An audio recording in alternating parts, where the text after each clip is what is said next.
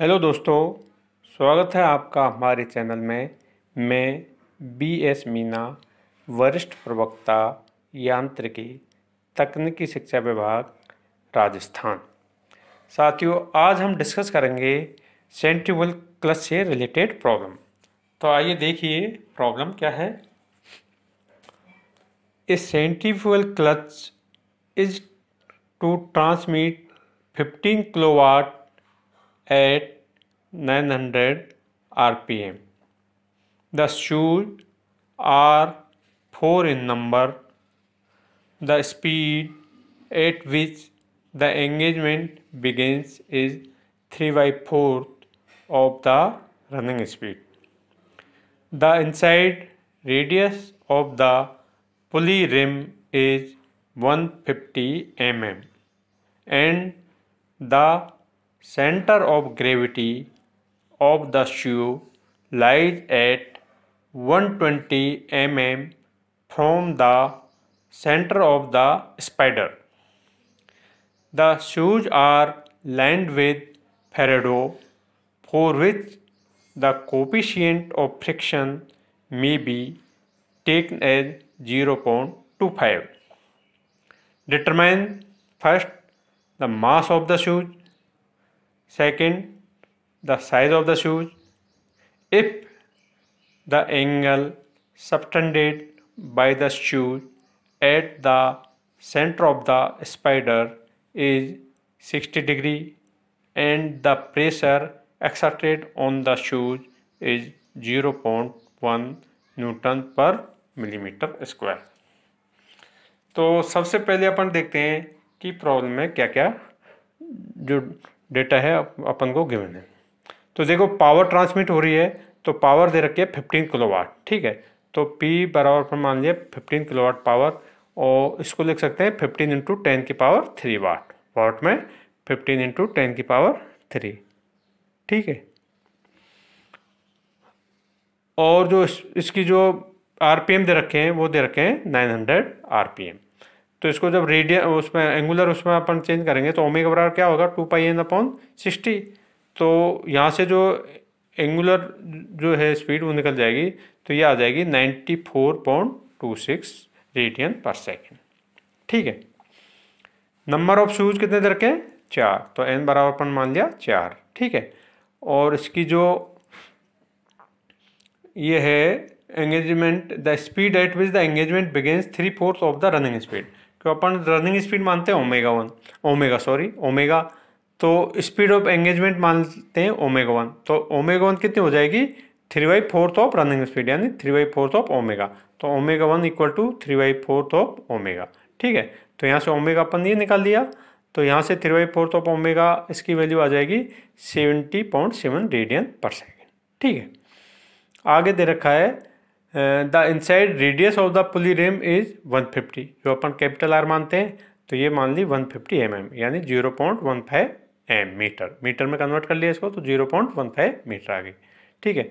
Centre of gravity of the shoes lies as 120 millimetre from the centre of the spider तो इसको अपन मानते हैं स्मॉल आर तो small R equal to one twenty M M यानी zero point one two metre ठीक है?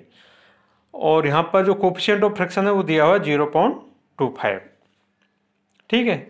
तो अपन को जो निकालना है, एक तो मास ऑफ़ द श्यू तो मास ऑफ़ द श्यू अपन ने मान लेते हैं M mass of the shoe in kilogram है। तो इस पर जो सेंट्रीबल फोर्स लगेगा इस शू पर, वो क्या होगा?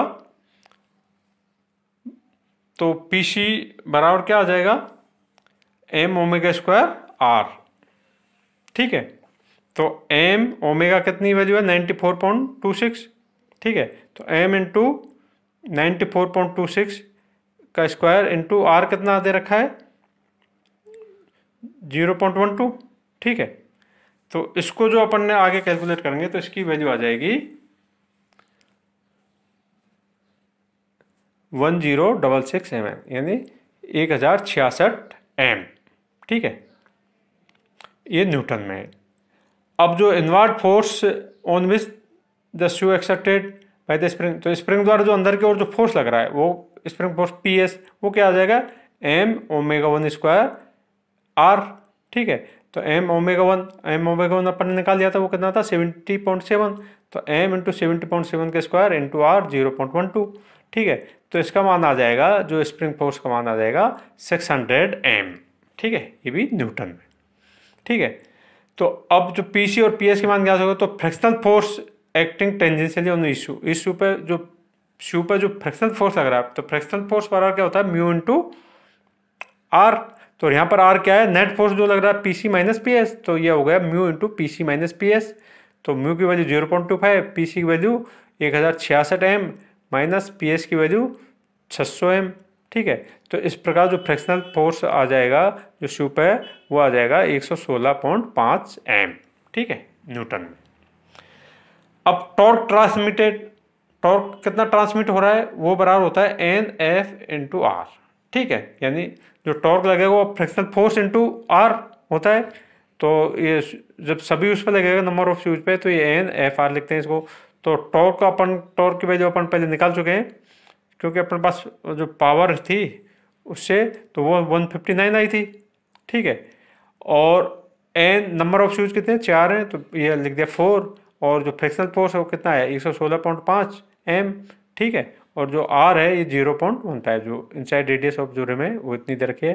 तो यहाँ पर जो है, यहाँ से जो एम की वैल्यू अपन ज्ञात हो जाएँगे। ये इसको कैलकुलेट सेवेंटी एम आया तो एम बराबर one fifty nine upon seventy तो ये टू पॉइंट टू सेवन कीजिएगा तो ये मास ऑफ़ द शू अपन ने निकाल लिया। अब निकालना है अपन को साइज़ ऑफ़ द शू तो अपन जानते हैं एल जो मानिए contact length of the shoe in millimetre और B breadth of the shoe in millimetre और जो एंगल सबटेंड हो रहा है शू द्वारा तो वो है मान लिया अपन ने थीटा रेडियन तो इसमें थीटा की वैल्यू अपन को दे रखी थी कितनी? सिक्सटी डिग्री तो सिक्सटी डिग्री को रेडियन में कन्वर्ट करेंगे तो क्या लिख सकते हैं? Sixty into pi by one eighty तो यानी पाई बाई थ्री रेडियन तो ये थीटा की वैल्यू आ गई। तो जो प्रेशर जो शू पे एक्सर्ट हो रहा है, वो कितना दे रखा है? Zero point one newton per millimetre square तो हम जानते हैं कि एल बराबर क्या होता है? लेंथ ऑफ़ द शू बराबर होता है थीटा इंटू आर तो थीटा की वैल्यू क्या है? पाई बाई थ्री और आर कितनी देर रखी एम एम में कितनी देर रखी थी वन फिफ्टी ठीक है? तो ये आगे इसको कैलकुलेशन किया तो ये आगे seven point one fifty seven point one M M ठीक है? अब ये लेंथ आ गई तो अपन जानते हैं कि L into B L into B into P बराबर P C minus P S ठीक है, जैसे अपन साइज़ ऑफ़ द शू की कैलकुलेशन में जो अपन निकाला था फॉर्मूला उससे तो यहाँ पे एल कितनी तरह के one fifty seven point one into B जो हमको ज्ञात करनी है, और प्रेशर कितना एक्सर्ट हो रहा है? ज़ीरो पॉइंट वन ठीक है? बराबर P C minus P S तो ये एक हज़ार छियासठ एम माइनस छः सौ एम यानी चार सौ छियासठ एम ठीक है? तो यहाँ से जो इसकी जो वैल्यू है, ये बराबर आ गई चार सौ छियासठ एम तो एम की वैल्यू क्या निकाली अपन ने? टू पॉइंट टू सेवन तो इसको फिर इस प्रकार लिख सकते हैं और ये आ गई एक हज़ार अट्ठावन। तो यहाँ से बी बराबर क्या हो जाएगा? One thousand fifty eight upon one fifty seven point one into point one ठीक है? तो यहाँ से अपन ने जो ज्ञात किया तो इसकी जो बिर्थ आ गई sixty seven point three M M M M तो यहाँ ध्यान देने वाली बात यह है कि जो अपन ने एम एम रखा है ये, ठीक है? तो यहाँ पर जो, ये जो लग रहा है लेंथ कितनी है? एम एम में। जो ये जो लेंथ है वन सेवन पॉइंट ये एम है बिट्स भी एम में बिट भी अपन को जो ज्ञात करनी है, और जो ये जो प्रेशर लग रहा है zero point one M B M M तो यहाँ पर जो देखो, यहाँ पर एम एम और ये न्यूटन पर मिलीमीटर स्क्वायर है। तो ये कट गया तो न्यूटन पर मिलीमीटर आ गया, और इधर जो फोर्स लग रहा है, वो इधर जो है, ये जो ये अपन ने जो निकाला है, ये इसका मान पी सी मान ये ये किसमें है? न्यूटन में। ठीक है, ये न्यूटन तो न्यूटन से न्यूटन कैंसिल हो जाता है तो ये एम में आ जाती है इसमें अक्सर स्टूडेंट कन्फ्यूज़ होते हैं कि ये एम किस तरह आती है। ठीक है तो इस प्रकार इसकी पेट ज्ञात कर ली जाती है। धन्यवाद।